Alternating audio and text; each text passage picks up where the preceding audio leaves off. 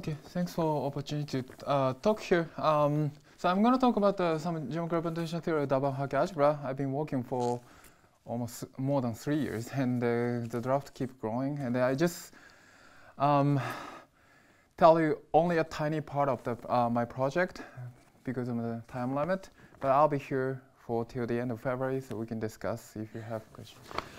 Um, so the goal of my talk is to just show the, some evidence between the relationship between I call A-brane category or modular space of Lie connection of the one structure torus of SL2C with certain symplectic form. I'm going to explain. Is uh, some my conjecture is so which uh, some relation between the representation category of uh, double Hecke algebra of rank 1, of rank, rank 1. Okay, to tell you the story, so let me begin by theorem by Oblomkov. Um, tells that the deformation quantization, uh, quantization of the coordinate ring of modular space of Laplace and character variety of one functional torus of SL2C um, in holomorphic, in holomorphic, holomorphic, uh, sorry, holomorphic in complex structure, complex structure J. I call it J coming from the SL2C. So the coming from, so this really the group is equivalent, is uh, uh, isomorphic, is the spherical Daha. I call it SHW dot is spherical Daha. Um, so I'm going to explain what it means. So the, the, the modular space of connection of one functional torus can be written the hypersurface in C3 in such a way that the, as a cubic surface, uh, 2 plus t square plus t minus square, where the t is a monodromy or holonomy as a one puncture, the puncture on the torus. So the holonomy is really it, the takes a value in SL2C. Okay. Um, and it, so the x and y are holomorphic in complex, I call it J, coming from this SL2C. Um, and if you do the uh, deformation quantization, what you would end up with the, the following algebra. So the x, y, and the q combinator will give you q minus q inverse of z and everything is cyclic, y, z. I'm not going to write down everything, but uh, just x and uh, uh, z, x, q commutator is y. And also, um, so no longer x and y are no, no longer commutative. Um, and uh, x squared plus q minus q inverse uh, y squared plus q z squared q 1 half x uh, q1 half plus q minus 1 half square plus q 1 half t minus um, q minus 1 half t inverse square. So this is this algebra is exactly the quantization, deformation quantization of this uh, hypersurface. And uh, so this is actually called the spherical double Hecke algebra, and the relation to the uh, double algebra is indeed uh, given here. So I don't have a time, so just you can just read in this board. Um, and I just want to study the, this representation theory of this algebra in terms of geometry of the homogeneous space of Lie connection. Um, so the, to study first, before going to the geometry, I just want to briefly review the representation of Daha.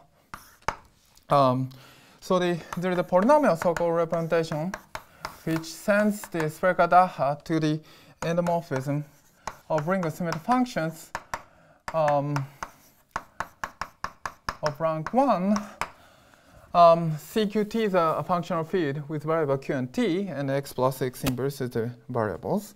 Um, and x is sent to x plus x inverse, and y is sent to the uh, sent to the t x minus t inverse x inverse x minus x inverse and the shift operator and t inverse x minus t x inverse t minus t inverse w inverse. So shift operator acts on x, uh, just multiply by qx.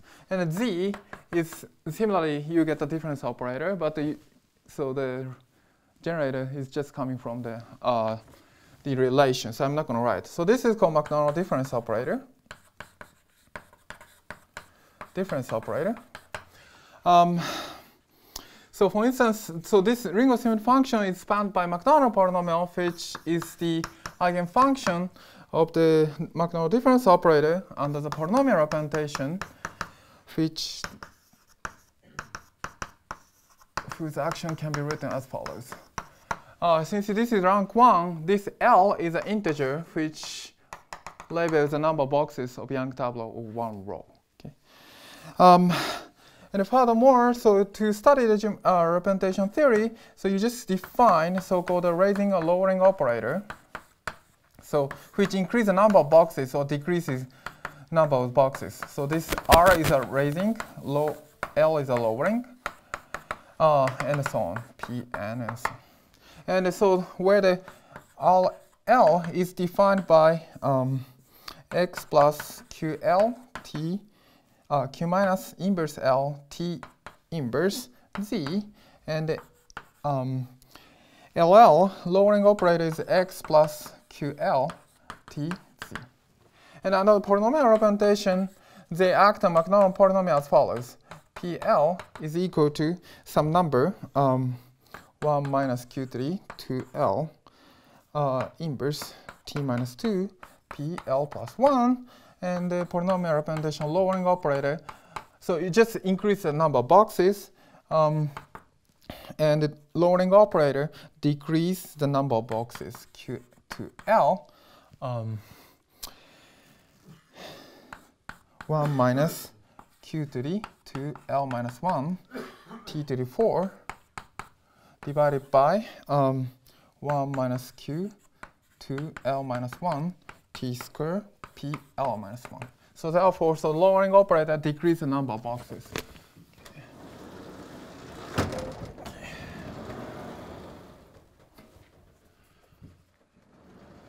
And uh, so in the representation theory, uh, the first thing is to study the finite dimensional representation.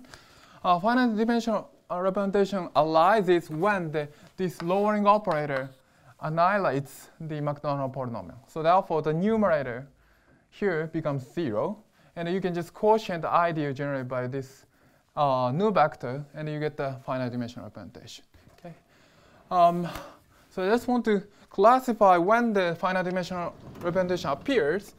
Um, so the only denominator, uh, sorry, numerator vanishes, the finite dimensional representation appears. Um, so the condition is when, so the, I just want to remind later.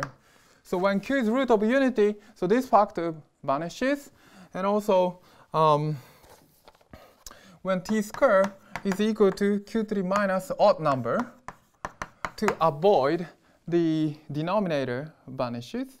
Um, so you just, I, I, just consider odd power here. And the t squared is equal to minus q3 um, minus n. Okay. So the, all the capital N, L, small n are integers. Okay.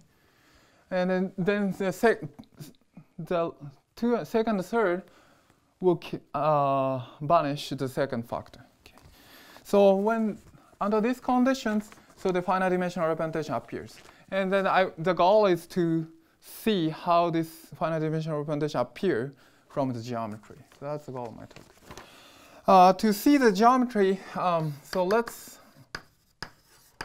look at, uh, recall that the um, non-abelian Hodge correspondence, which states as follows, modulus of flat connection of T2 mod point of SL2C is um, diffeomorphic to the modulus Higgs bundle of one's punctual torus with SU2, where the, um, so this is uh, modulus with Higgs bundle. So where the, the gauge connection at the, there's a puncture, so you have to impose a singularity, which um, um, whose behavior, so the gauge connection, this is Higgs field, is one half beta uh, I shouldn't say, beta plus i gamma uh, dz over z. So I just consider the puncture and you just consider local coordinate z and the theta is the, the uh, angular variable around the, the punctures. So this is the, uh, the ramification, time ramification for Higgs bundle.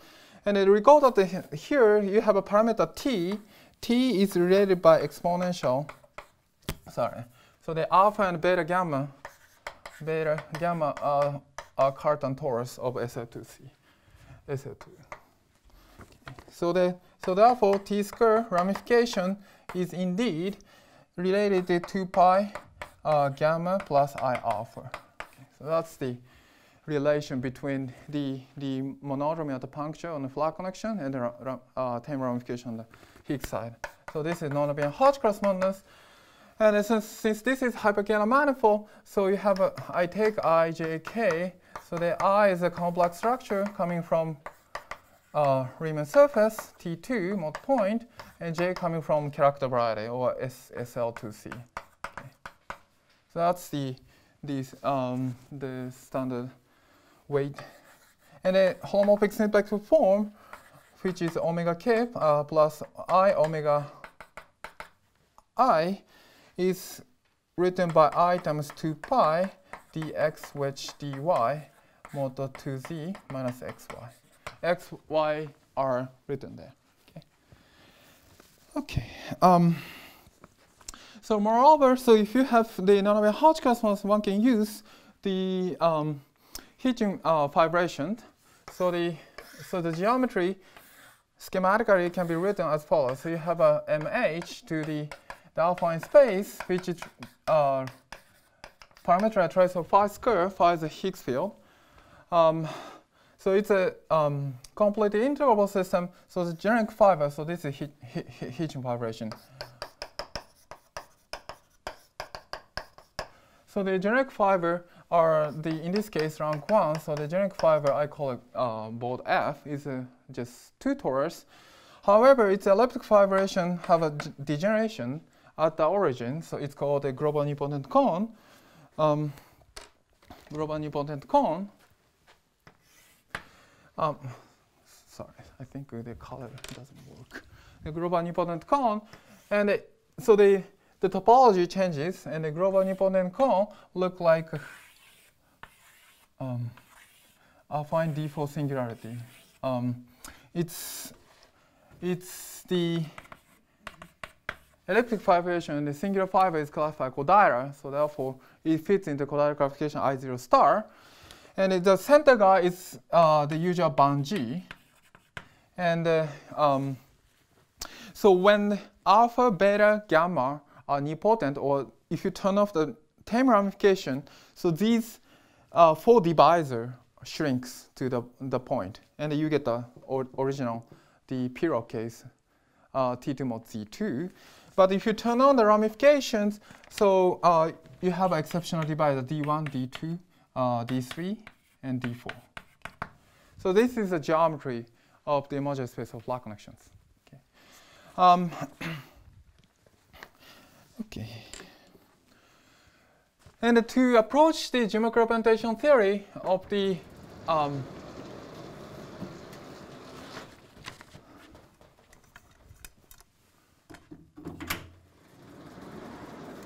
oops, sorry. Of the Pancake algebra, so I use the uh, 2D A-model, two-dimensional A-model, uh, whose target is this the character variety or Hitch homogeneous space.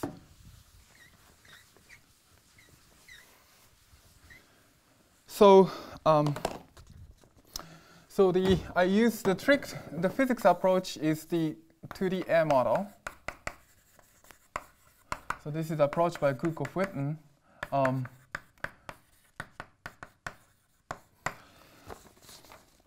so the so the trick is to use a big brane. So trick is that uh, use big A brane. So usual A branes are uh, the Lagrangian inside a symplectic manifold, but um, so the the Kapustin-Witten and the Gukov-Witten introduced so-called uh, canonical coarse brane, which I call the BCC, which is a line bundle over the, this target space, modular space of Lac connections. Okay. And if whose curvature is satisfied the following condition, f plus b is equal to uh, real part of the holomorphic symplectic form omega j, and uh, also uh, omega. Omega is, I just co consider 2D A-models of which is a Riemann surface mapped to the, the modular space of Lac connection, and omega is a sim symplectic form in A-model. Omega imag is imaginary part of 1 over h bar shifted, uh, so scaled by scale omega j, holomorphic symplectic form. Um, and the proposal, physics proposal is that the, uh, if you consider the, the algebra of the, um, the open string whose boundary is BCC, specified BCC, is that the will give you deformation quantization of the target space, which is the Spherical according to the Oblomkov theorem I erased just now. So could you just say, what, is big B a choice you're allowed to make, or what, what would big B? Oh, this B field. Ah, sorry. In physics, 2D A-model can have some uh, B, B field in the. Yes, yes, yes. And the parameter matching is as follows. So the spherical Daha has a Q and T, small q and T parameter. Uh, small q is uh, here is identified 2 pi i h bar, and T is a ramification of the modular space of Lac connections. Okay. Um, and also to the um, A-model, you can have a bunch of A brane uh, whose support is usually Lagrangian. Um, and you can uh, consider the open string between the, the, BCC boundary condition and the Lagrangian support boundary condition. And you can consider joining, you get another BCC BL plane. So therefore, um, so homo BCC BCC acts on the strip, another strip. Okay, so this will give you the module of the spherical Daha. So therefore, um, so given a, a A brane, you, you have a corresponding the module. So therefore, so here, the object in the A brane category is A brane BL over there. And uh, given the BL, you have a corresponding representation theory. So that's why, so there's a, a conjecture between A brane category and the um, representation category spherical Daha. Um, and I just give you the concrete example. So this dimension of BL uh, is just dimension of this home, home space of BCC. So it's a Hilbert space in physics language. It's given by uh, the Grothendieck-Riemann-Roch formula, CH, uh, BCC. So BCC can, is the line bundle. And also brane, usually A brane carries the uh, local system of Lac connection, uh, unitary Lac connection. So you can consider uh, the inverse bundle of the A brane and top class of the support L. Okay. So this is the uh, Hirzebruch-Riemann-Roch formula. Okay. So usually this is a German uh, quantization story. Um, so therefore, when L is a compact Lagrangian brane, so dimension is the finite dimensional. Okay. So therefore, um, if you look at the geometry of a huge modular space of modular connection, the compact A brane provides a finite dimensional representation. Okay? And since we saw that from polynomial representation, we have a candidate, and we have a candidate for compact Lagrangian brane coming from Hitchin fibration, we can compare. That's what I'm going to do the rest of 10 minutes.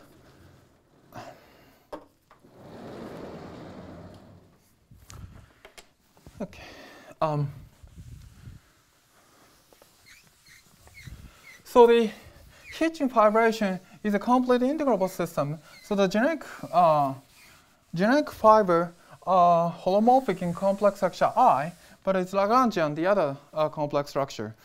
So the, if you look at the, the generic fiber, generic fiber of the Hitchin fibration, I call uh, both F is always um, always the ijk, always the holomorphic in complexure i in the language physics is B brane, and the Lagrangian in the other complex structure. Okay, so therefore, so that you have to tune. So this is always um, one over h bar uh, sine theta omega i plus cosine theta uh, omega k, where I just take h is h, the absolute value e to the i theta. Theta is the angle. Okay. However, so since generic fiber is always BA brane, so you have to tune. So in order for the generic fiber, the Lagrangian, you have to tune the theta always equal to zero. Otherwise, it mix the mixture between symplectic form is a mixture between i and k, so it cannot be Lagrangian. So therefore, so the, in order for the generic fiber to be Lagrangian, h so the theta has to be zero. So this is a condition. And also, if you com you can compute the dimension of the Helm space, um, BCC, I call it. Let's call the B, BC, uh, B F. B bold F. So you will get the 1 over h bar. So since if you use the Grothendieck-Riemann Roch formula, this has to be integer. So therefore, so if you look at the parameter matching between q and h bar, this will give you that the q has to be um, uh, root of unity, pi i of uh, some number, capital N, n is integer. Okay. So which is the one I, I have written down here. Okay. So therefore, so the generic fiber will give you first condition, and is the, the finite dimensional representation. Another uh, compact. Uh, Did you see the evenness? Ah, evenness. Oh, okay. Okay, I, I will tell you.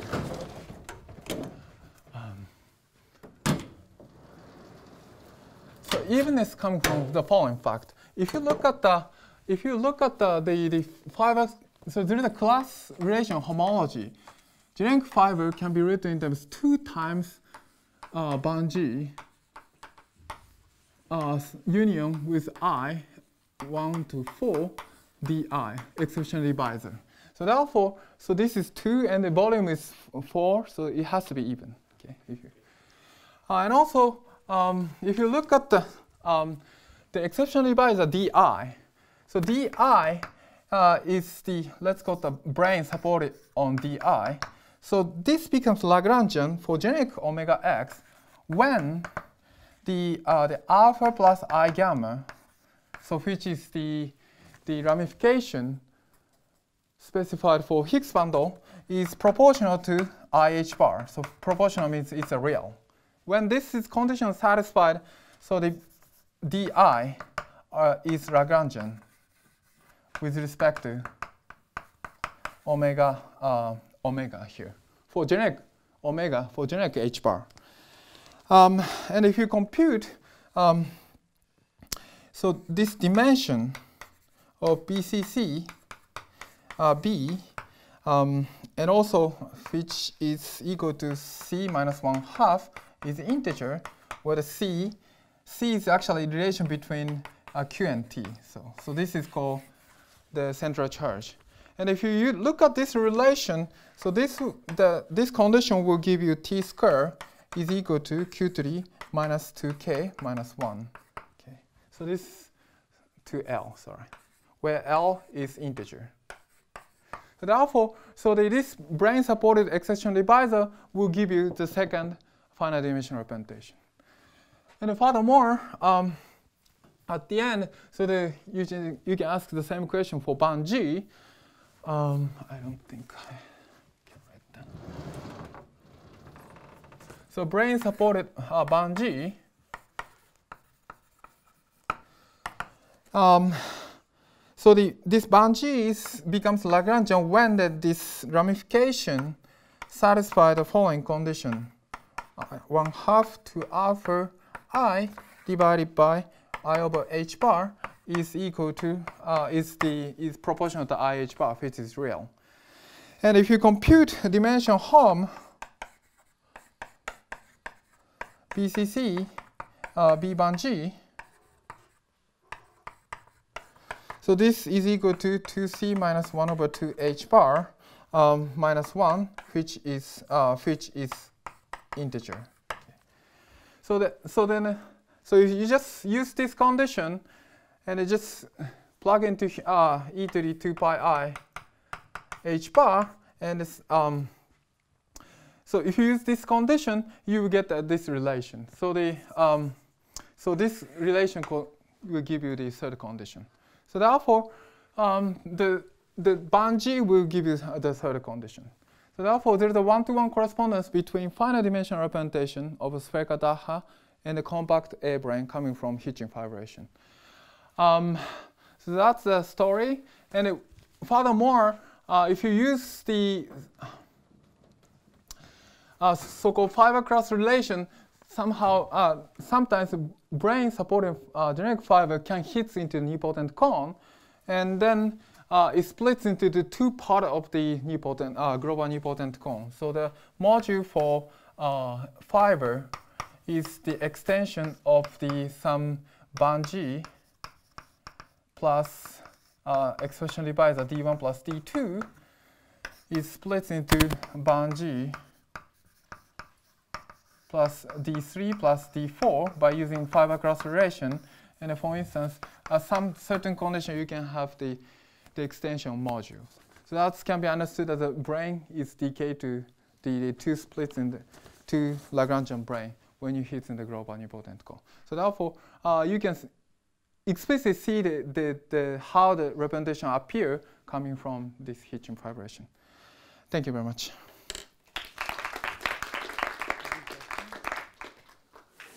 Are there any questions? Maybe I'll ask a question uh, since uh, the previous speakers mentioned uh, affine Yangians. Could you mention how this algebra relates to affine Yangians? Okay, so yes, I can explain to you. So the so this is the, the story of the Catholic story of the, the, the story of the morning uh, sessions. And if you consider, uh, in, in particular, so this Frege-Daha can be understood as algebra line operator in for the n equal 2 star theory. And if you take, uh, so for the, if you, for the n equal 2 star theory, uh, reduce, reduce on circle S1, you get a 3D n equal to 4 theory uh, four-star theory. And it's, so the so this Coulomb branch of 4D two-star theory can be identified uh, the modulus of flat connection I, talk, I talked about. And the modulus Coulomb branch of the, this 3D equal to 4-star theory, if you do the deformation quantization in the similar story, will give you uh, the spherical Daha, but it's, it's trigonometric version, trigonometric version. Um, so the quiver diagram 3D n equal 4 is, for instance, like a SU2, which is gauge group, and there is adjoint. Um, if you try to look at the Yangian version, is Yangian version indeed you have to add one more, one more uh, hypers for. Then the Coulomb branch of this theory, and if you do the deformation quantization, will give you a spherical Daha of rational Cherednik algebra, spherical rational Cherednik algebra. So this is indeed the Yangian version of the double Hecke algebra. So it's kind of a Lie algebra version of the um, double Hecke algebra. So, and it, it, it's indeed a Hilbert scheme of points. Okay. Yes, and your case is not rational, it's not trigonometric, but it's like elliptic? Yeah, elliptic version. Yes, yes it's like elliptic toroidal. Yes. Um, yes, yes, yes, yes. If you take the rank goes to infinity, you get the elliptic Hall algebra. Uh, GL1 toroidal algebra. Mm -hmm. Okay, that's good. So if you take uh, instead of one puncture, let's say n punctures, yes. do you get uh, Daha of an? Uh, the an type is just uh, increase the rank. Rank S, SL2 goes to SLN, or you just wrap the n and 5 ranks. And if you take n punctures? You get uh, some algebra line operator of class S theory specified by this n punctured torus. Right, which is a quiver with uh, n vertices. Yes, yes. So, so I think it becomes like like this way, right? The quiver with this vertex. Quiver with n vertices, uh -huh. uh, quantization of its Coulomb branch uh -huh. gives uh, if you if you do it like in an elliptic version, it gives a, a toroidal elliptic algebra of uh, GLn, where Oh. n is the number of vertices. Oh, I see. I didn't know that. Maybe. In a paper of um, Okay. myself at Nekrasov and Shatashvili. Oh, okay. So then maybe I should. Th- there must be some relate duality between them. In that case. It's called non-duality. Oh, okay. Maybe I will learn from you during this day. Okay. I think uh, I should stop maybe.